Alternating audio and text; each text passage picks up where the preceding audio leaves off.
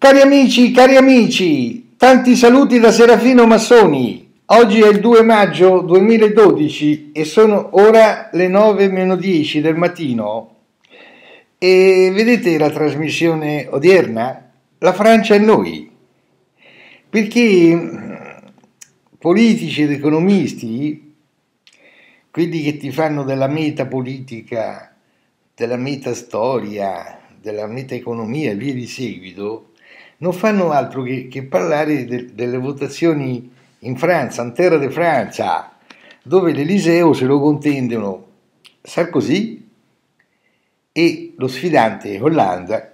E giù tutti a dire, tutti a dire questi meta-economisti, metastorici e tutti a dire che se vince Hollande, che è un socialista, ah, prima che mi dimentichi, guardate però che il socialista Hollande è uno stretto collega di quel potente signore, pure lui socialista, non ricordo il nome, che fece una certa operazione con una cameriera nelle lontane Americhe, che, era il presidente della, del Fondo Monetario Internazionale, adesso al suo posto c'è la simpatica eh, Christine Lagarde cioè, se non succedeva quell'incidente là in un alberghetto con una domestica, quel signore Tal di Tali che era presidente del Fondo Monetario Internazionale, e voi avete già capito che non ricordo il, mio, il suo nome, cari amici, e adesso c'era lui e, a, a, a, fare, a gestire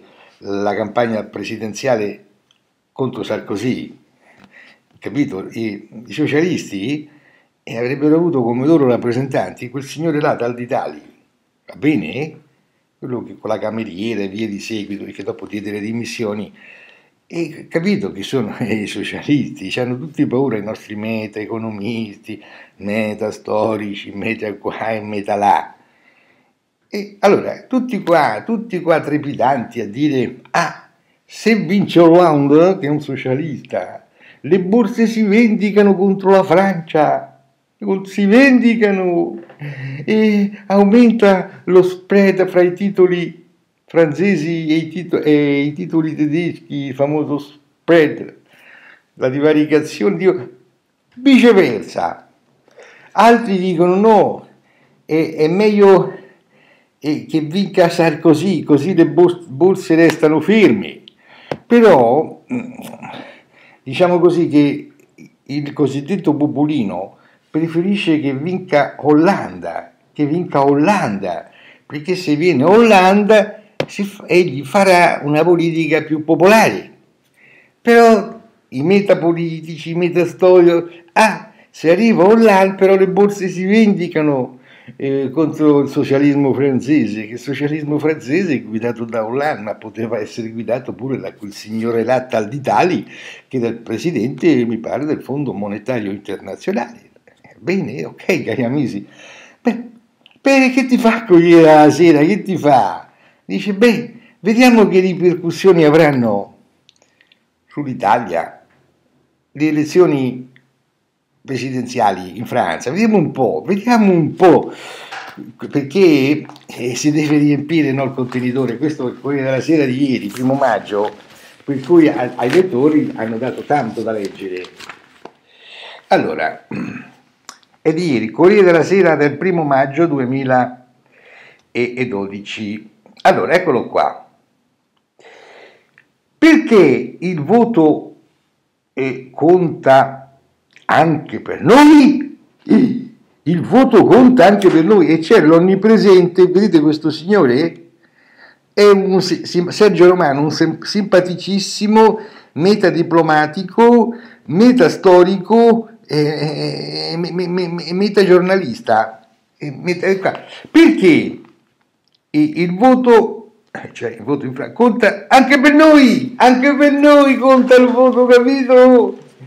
Perché eh, cambiano gli equilibri in borsa, capito? A seconda di che ci sia Sarkozy o, o che ci sia Hollande, cambiano gli equilibri in borsa. Ma alle borse europee non gliene frega un tubo, alle borse europee, alle borse mondiali. Non gliene frega niente che all'Eliseo ci sia uno di centrodestra come Sarkozy o uno di centrosinistra come, come um, Hollande. Ma scusatemi, ma scusatemi, meta-economisti, meta-analisti, meta-storici, ma scusate, non abbiamo forse l'esempio della Spagna che adesso è andata, è andata a mano del governo di centrodestra di un certo Royo, Royo, e la Spagna col governo di centrodestra e che forse ha migliorato la propria posizione economica, ma le borse non gliene frega un tubo. Che ci sia un governo di centrosinistra o un governo di centrodestra, alle borse non gliene frega un figo secco.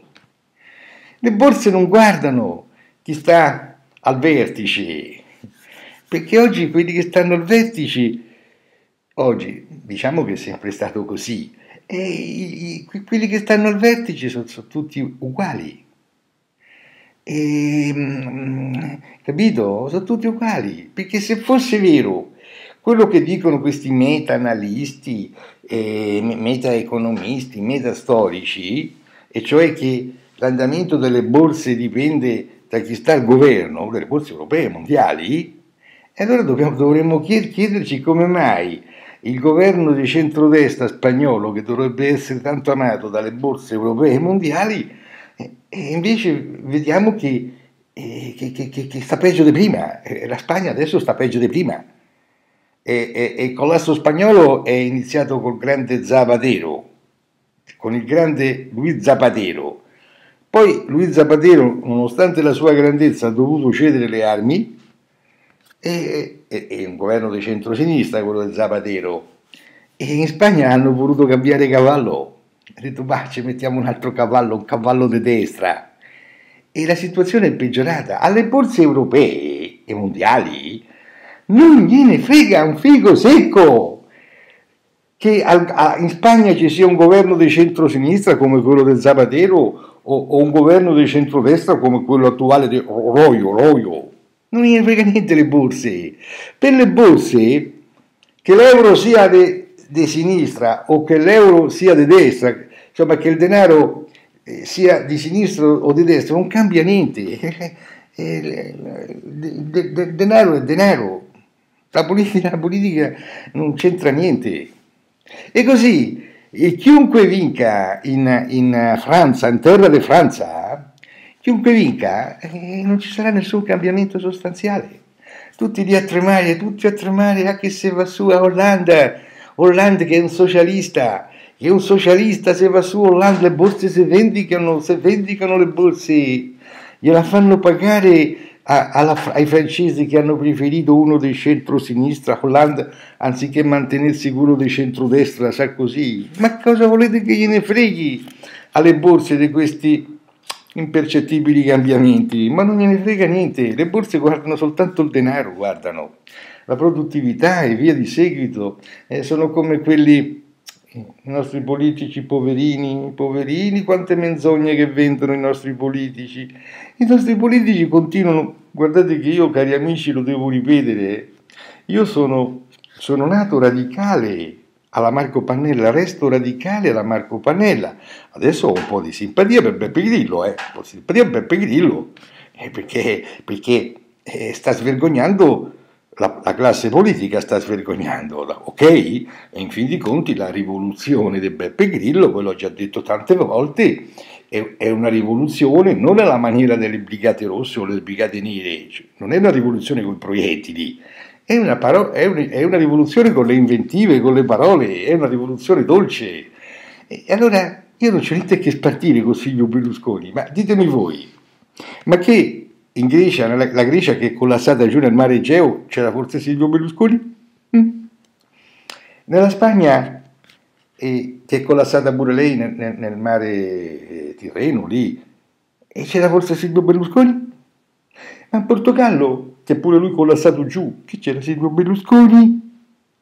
In Irlanda, Irlanda, eh, che pure lei fa, fa parte dei paesi PICS, che c'era Silvio Berlusconi in Irlanda e negli Stati Uniti che sono in mano a, a, a, ai fondi sovrani cinesi, ma che c'era Silvio Berlusconi? Tutte addosso la, politica, si chiama politica provinciale, non ti fanno vedere i nostri politici una politica di ampio respiro, ma che è tutta colpa di Silvio Berlusconi.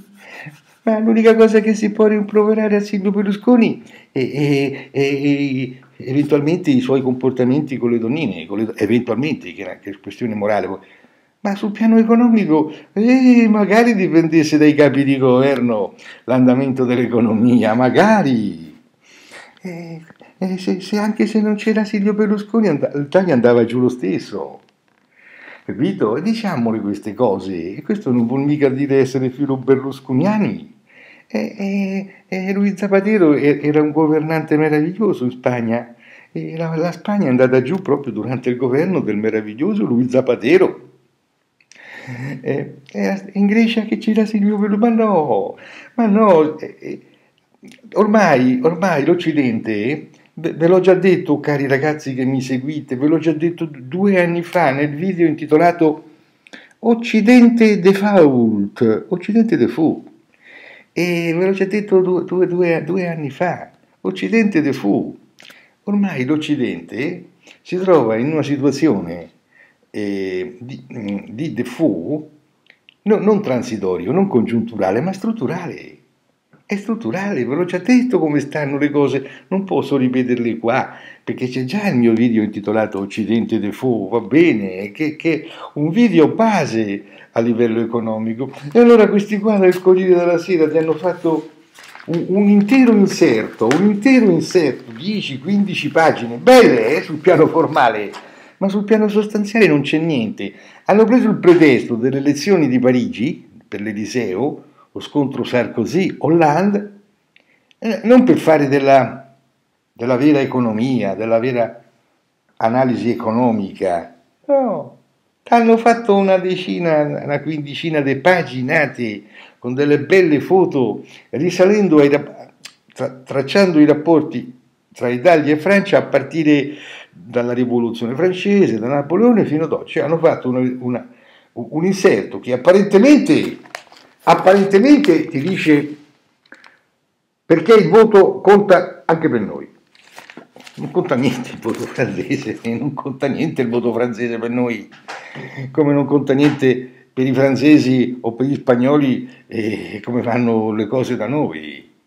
Eh, si tratta di, di, di, di, default, si tratta di debiti. Siamo in Europa, in Occidente, ve l'ho spiegato, ripeto nel video, siamo tutti pieni di debiti, cari amici.